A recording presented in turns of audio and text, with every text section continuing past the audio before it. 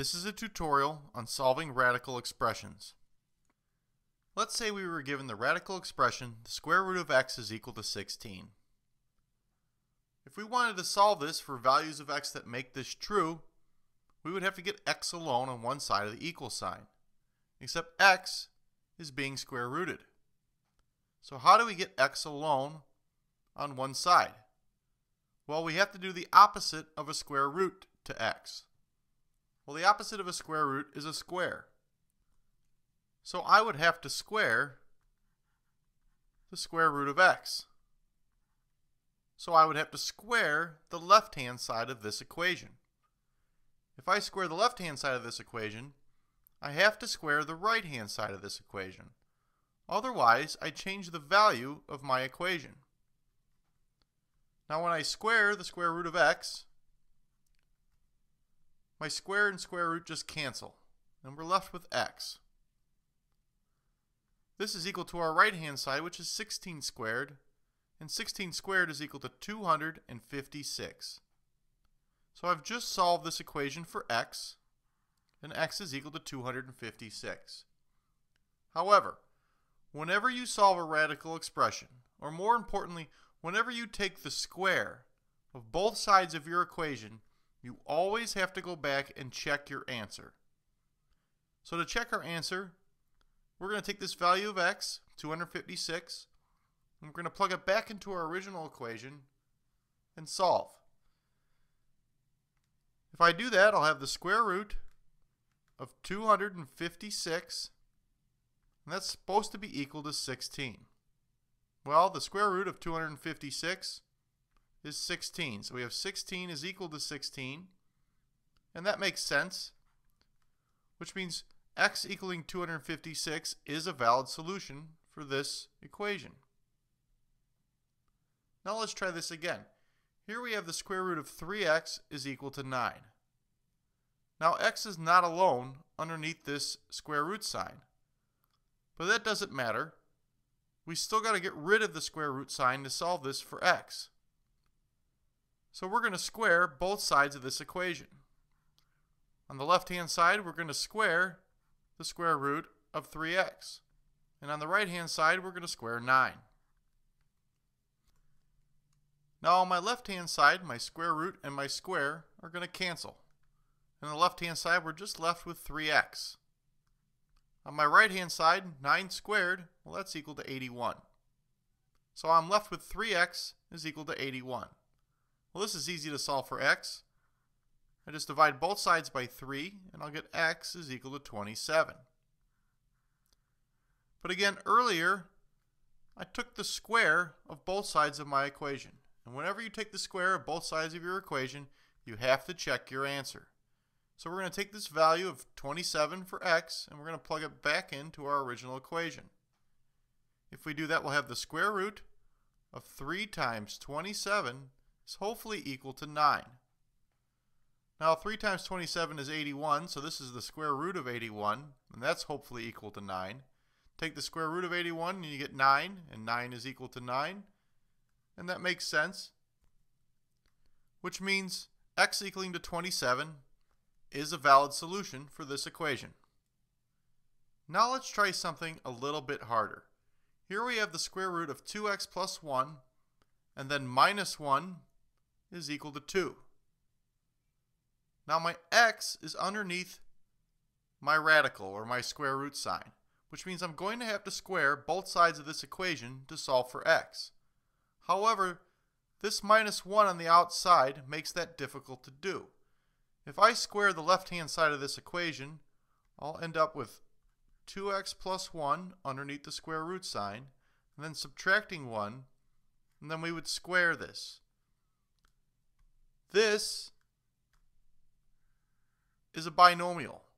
And if we were to multiply this out, we would have to FOIL, and this would get very difficult. So instead of doing that, let's instead add 1 to both sides of this equation.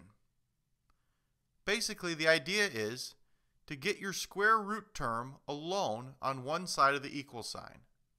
So if we add 1 to both sides, we'll have the square root of 2x plus 1 is equal to 3. Now that my square root term is alone on one side of the equal sign, I can square both sides of my equation.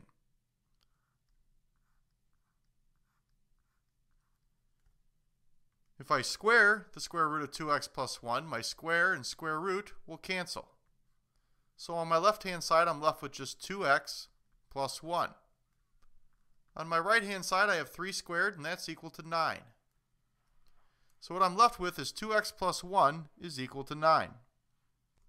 This is easy to solve for x. First, I would subtract 1 from each side.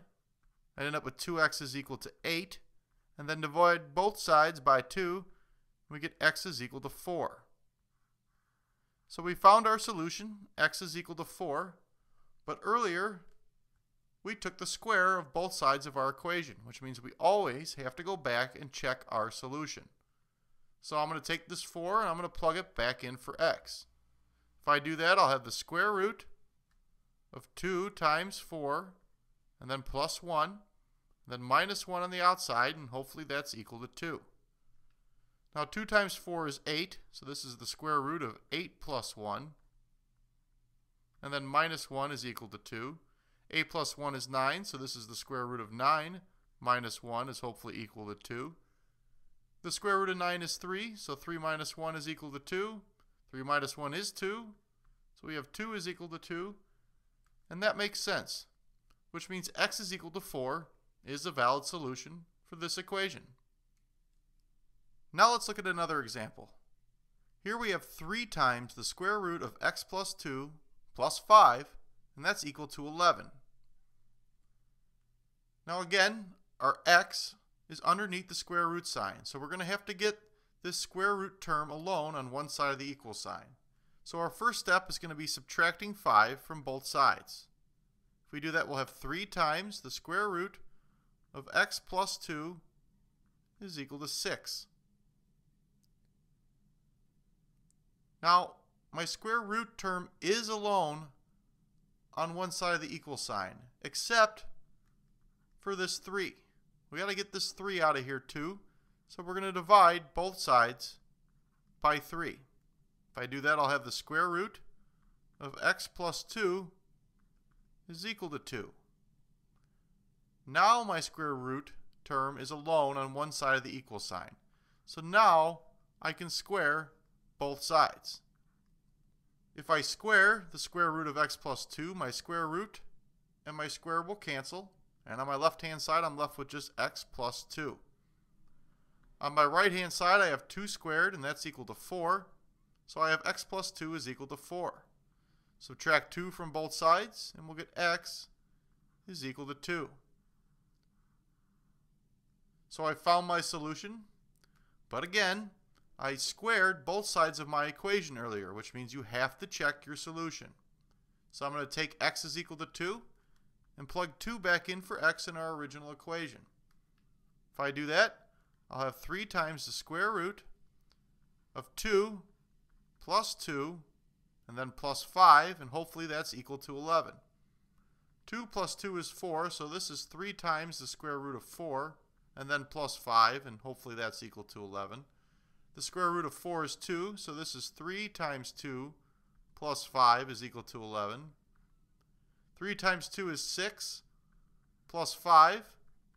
6 plus 5 is 11, so we end up with 11 equaling 11. And that makes sense. 11 does equal 11, which means x is equal to 2 is a valid solution for this equation. Now we have an equation where we have a square root on both sides of our equal sign. Here we have the square root of 2x minus 7 is equal to the square root of 7 but that's okay. Our term with the x underneath the square root is alone on one side of the equal sign. So again, we're just going to square both sides. So we're going to take the square root of 2x minus 7 and we're going to square it. But if we square the left hand side, we have to square the right hand side.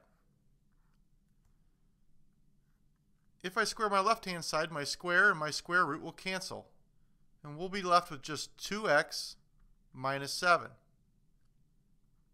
On my right hand side, Again, my square and my square root are going to cancel. And on my right hand side, I'm just left with 7.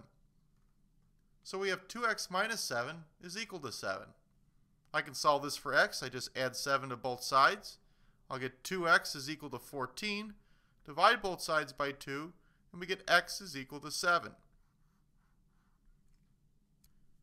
Now we found our solution, x is equal to 7, but we squared both sides of our equation earlier, so we have to check our solutions. So I'm going to take this 7 and I'm going to plug it back in for x.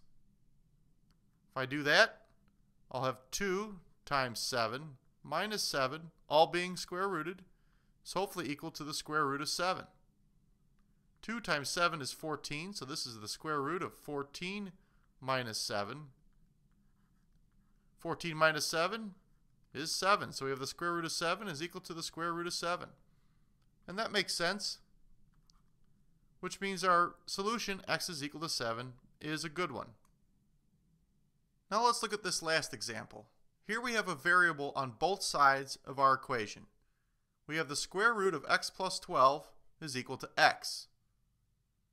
Well, I have my square root term with the x underneath it alone on one side of the equal sign.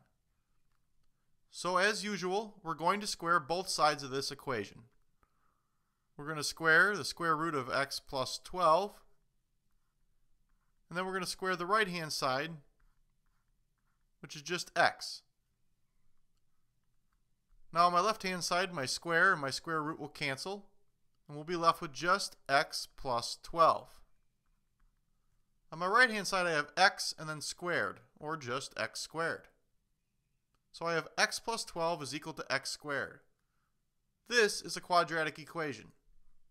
I'm going to move all the terms to one side by subtracting x from both sides and subtracting 12 from both sides. If I do that, I'll have x squared minus x minus 12 is equal to 0. Now this x squared minus x minus 12 I can factor. This will factor into an x minus 4 and an x plus 3. And it's still equal to 0. Now through the zero product property, if either one of these binomials is equal to 0, then the whole thing is equal to 0. So I'm going to take x minus 4 and I'm going to set that equal to 0 and x plus 3, set that equal to 0. In my first equation, I'll add 4 to both sides, and I get x is equal to 4. In my second equation, I subtract 3 from both sides, and I get x is equal to negative 3. So my solutions then are x is equal to 4 and x is equal to negative 3. But again, earlier, I squared both sides of my equation, which means you always have to check your answers. First, I'll check 4. I plug that back in for x. So we'll have the square root of 4 plus 12 is hopefully equal to 4. Now 4 plus 12 is 16, so this is the square root of 16, and hopefully that's equal to 4. The square root of 16 is 4, so we have 4 is equal to 4, and that makes sense, so x is equal to 4 is a valid solution. Next, I'm going to plug in negative 3. If I do that, I'll have the square root of negative 3 plus 12 is hopefully equal to negative 3. Now, negative 3 plus 12 is 9, so we have the square root of 9 is equal to negative 3. Take the square root of 9 and you get a positive 3. So we have positive 3 is equal to negative 3. Well, that doesn't make any sense. That means x is equal to negative 3 is what we call an extraneous solution. It's a solution that's created when we square both sides of our equation, but it's not actually a solution to our original equation. So this is why whenever you square both sides of your equation, you always check your answer, because you're looking for extraneous solutions. The only real solution to this equation is x is equal to 4. And that completes the tutorial on solving radical expressions.